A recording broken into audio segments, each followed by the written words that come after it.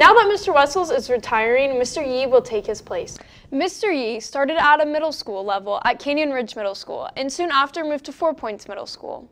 In fall 2017, he started working here at CPHS. Mr. Yee wants to honor Mr. Wessels by continuing the legacy of moving and inspiring while creating a more contemporary program for the future.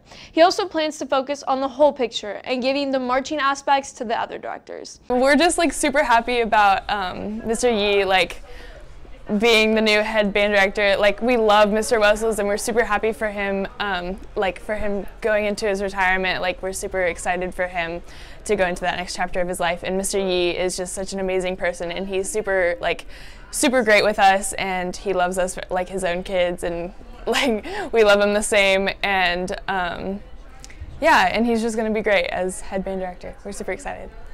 The students in band are sad to see Mr. Wessels leave, but are looking forward to see what the year has coming up. Hey there, Evan Vines here. If you liked what you saw, make sure to hit that like button. And if you enjoy all things CPHS, hit subscribe. Have a great day or not, the choice is yours.